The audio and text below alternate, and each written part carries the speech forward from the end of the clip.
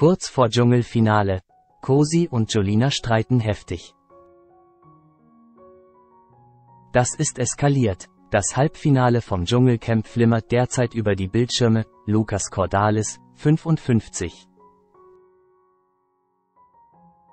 Luigi Birofio, 23, Jamila Rowe, 55, Cosimo Zitiolo, 41, und Jolina Mennen, 30, kämpfen noch um die Krone. Die Influencerin und der Checker vom Neckar meisterten gestern noch gemeinsam eine Prüfung. Doch jetzt wurde es plötzlich laut zwischen ihnen. Als es um die Nachtwache ging, keiften sie sich schon an. Dann stritten Cosi und Jolina heftig und schnauzten sich an. Die YouTuberin hatte das Gefühl, dass der DSDS-Star sie nicht aussprechen lasse. Vor allem seine Gesprächskultur passe Jolina gar nicht.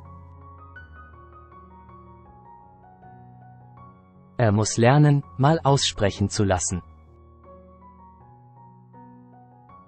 Klammer Punkt Punkt Punkt Klammer.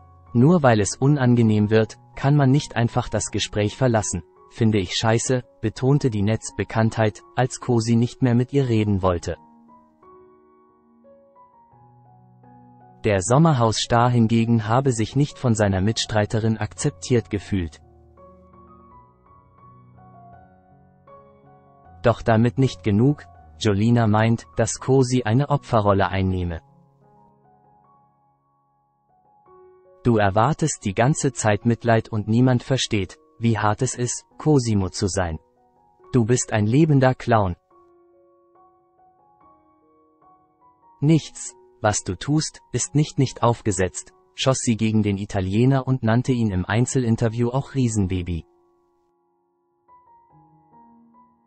Einig werden sie sich nur bei einer Sache.